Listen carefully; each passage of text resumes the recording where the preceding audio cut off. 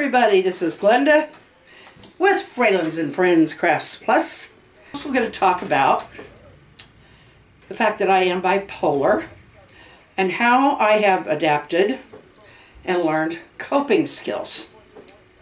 So we'll be back in a minute and we'll talk about kind of both, especially where they kind of run together because pretty much everything in your health tends to run together.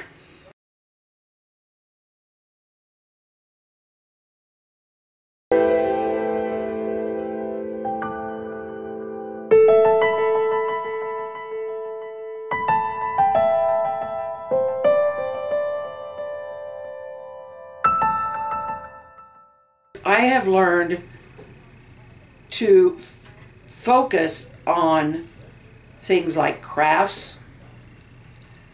Now, when I first started these videos, I couldn't hardly draw a straight line. Still can't, but I'm a much better artist than I used to be. I, I have to have a ruler. I can't freehand a straight line. I don't stop the shaking. I mean, that's that's something that comes from the family. So I don't have to take. that's not medicine. that's just something that comes from my family. Now there is medicine I'm on that does help to slow it down, and that that's pleasing because the more tired and the older I get, it's hurt.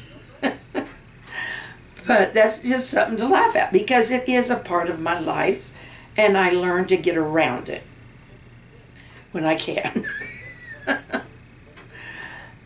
now, when I was diagnosed with COPD, I knew it was coming. My doctor had warned me it was there long before I was, it got to the point that it is now.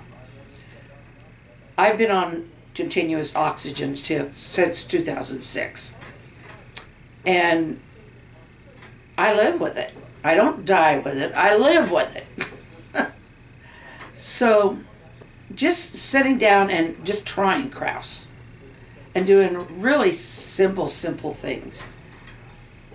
Over time, I just kept getting better. And now, writing, I knew I could do that. And uh, all my life, people had talked about how how good I could write. And with a little training and a little research and and that I think I'm a pretty darn good writer. And but I can only do so much of that on videos.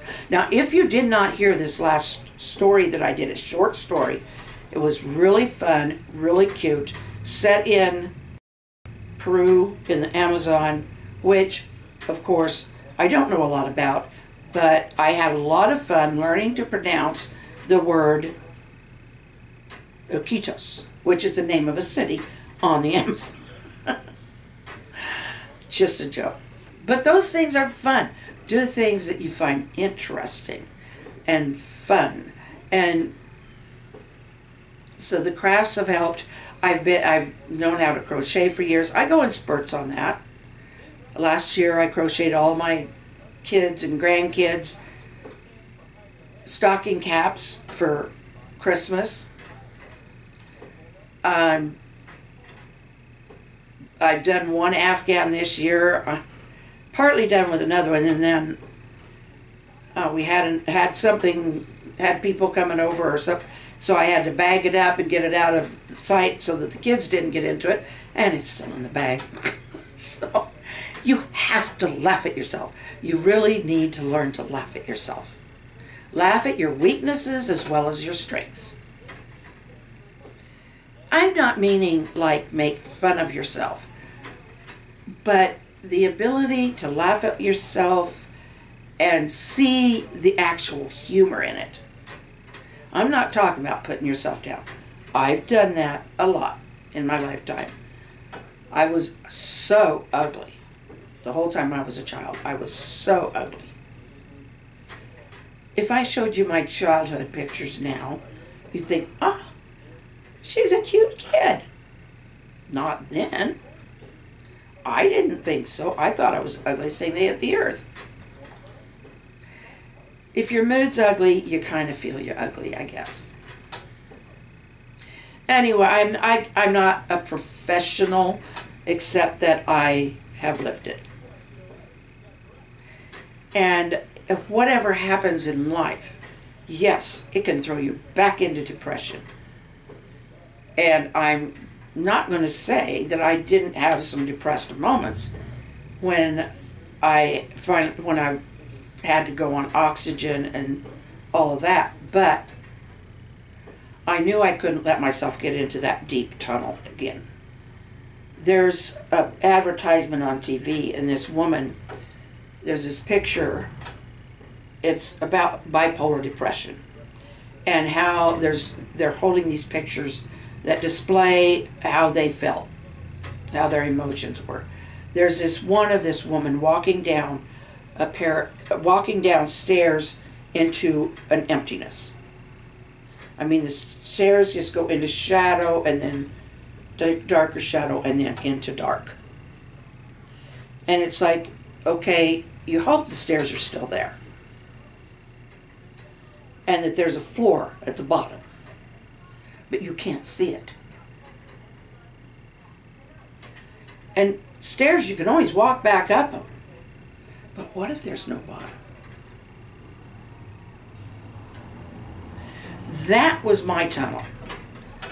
Uh, that's the one I related to, was that picture. And I told my husband, I said, that's where I was. There were others, you know, like screaming into a pillow, this and that and or hiding your face. But at that point in my life, that's not where I was. I was in a hole and or a tunnel. I was in a dark place, in other words. And I kept heading darker and darker, and I thought I'd never be able to get out of it, but I did. It took a lot of help, took a lot of support and it took medication. Once I got back up out of that tunnel, that really bad, bad deep one, I swore I was going to do anything not to go back there.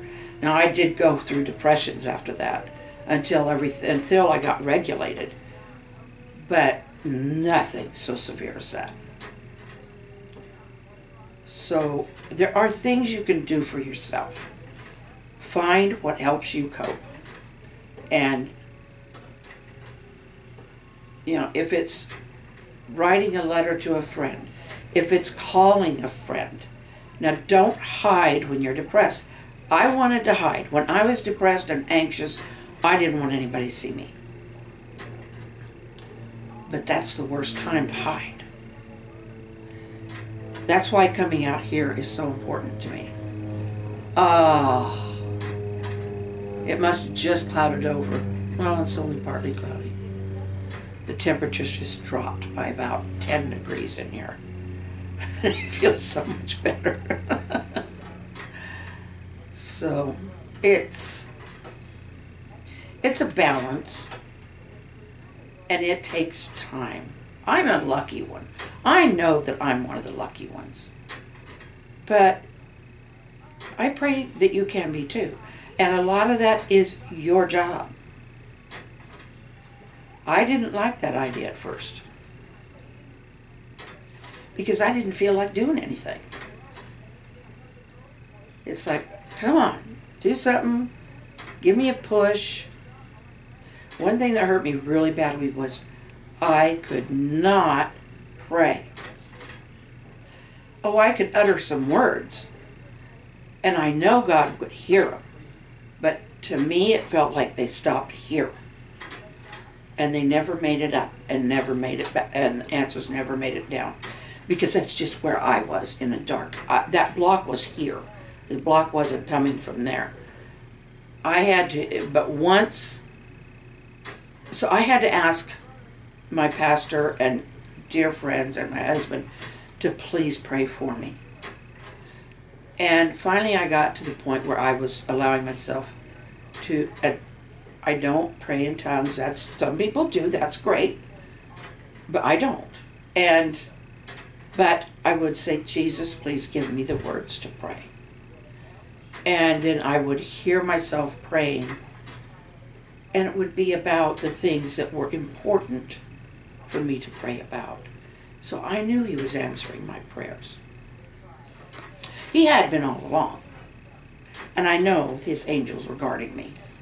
So, otherwise, I may not have known to go to the hospital when I did.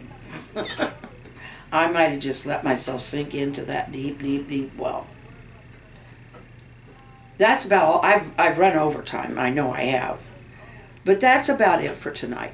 Whatever you have in your life, it may not be bipolar, it may not be COPD, it may be cancer that has followed you, you know, have been recurrent, but somehow each time you've beaten it or seem to have beaten it, it may be something else. Keep yourself as positive as possible. I can't say that you're never going to feel bad, that you're never going to cry. You will. Let yourself go through that, but not more than a short time. And then start thinking of your relaxation or meditation and let that start bringing you up. And counsel if you need to. I I'm back in a little bit of therapy now. It's through my insurance, so it's it's kind of like something that was offered, and so I thought, why not? It's been a while. I mean, I still see the psychiatrist and get medication checks and stuff, but as far as being actually in a regular counseling, my I, I I'm one of, probably one of the luckiest people in the world when it comes to this disease, and it is a disease. It is not just some emotional conflict. People have those. This is a chemical imbalance in the brain. That's what the medication is for, to help balance it. I love all of you. I hope I've said something that's been helpful. And if you need to share something, feel free to share. My email address is in the description if you'd rather email me and not be public about it. I understand that. It's got stigma attached to it. And I I deal with the stigma and a lot of time I just I either don't put myself in a place where I'm going to get that nonsense or if I do get it it's like okay they got a problem because the medical American Medical Association now does recognize and has for the last several years recognized that it is a medical issue. Isn't that wonderful? So, neighbor pulled up. I love you. Talk to you on Monday. So, have a good weekend. I love you. Smile and wave at somebody. Smiling helps your mood.